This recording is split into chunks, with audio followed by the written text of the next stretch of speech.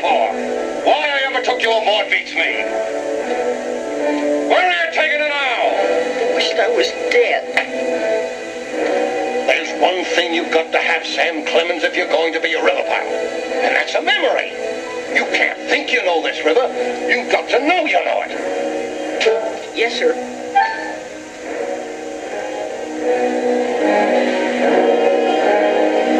That's Angel's Point over yonder. Cottonwood.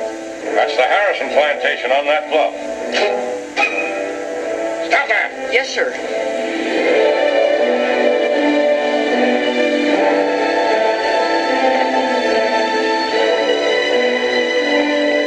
Waterless train!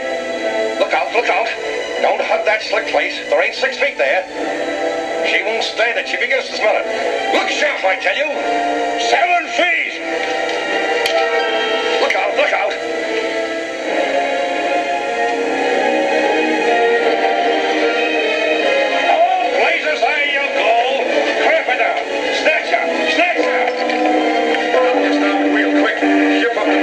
Her back. Let go of that whistle cord. What are you doing up there?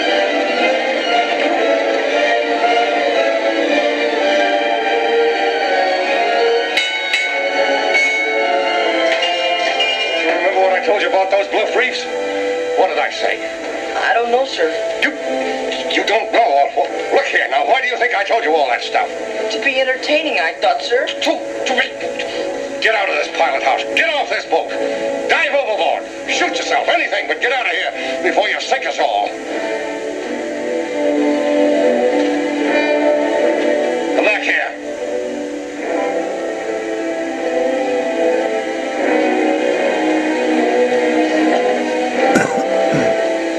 I said I'd learn you the river, and when I tell a man I'll learn him the river, I'll learn him if it kills. Take the wheel.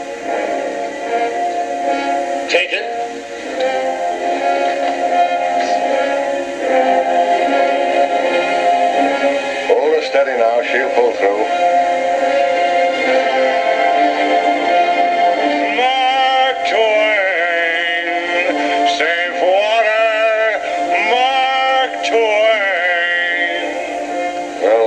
You'll never forget so long as you live, boy.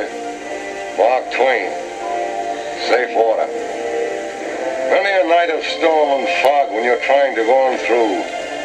You'll be straining your ears to hear that call. Welcome a sound in all the world to a riverman is those two words. Mark Twain.